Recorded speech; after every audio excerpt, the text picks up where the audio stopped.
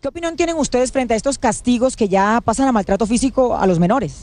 En pleno siglo XXI los castigos no deben ser una forma de educar. La Constitución del 91 así lo establece. Los derechos de los niños ratificados por el Código de Infancia y, Adolescencia establece que los castigos no deberían existir. Existen otras formas de buenas pautas de crianza, con mucha disciplina, pero con mucho amor, que permiten formar de una mejor manera el carácter de los niños y eso inicia desde la primera infancia. Eso es lo que debe tener en cuenta cualquier padre o madre. ¿Qué medidas van a tomar ustedes? ¿Qué medidas van a tomar tanto con los padres como con la menor? Eh, aquí se ha tomado dos medidas. Una primera desde el punto de vista de una denuncia penal que estableció el defensor de familia y aquí seguirá el curso en la vía judicial. Pero administrativamente el ICBF ha hecho un proceso de restablecimiento de derechos, está valorando a los padres, padre y madre, para ver si garantizan sus derechos y tiene a la niña en un hogar sustituto. Esta tarde se hará la valoración de la niña y esperamos encontrar un familiar cercano que pueda dar las garantías de protección de la niña para poderla entregar a su familia extensa.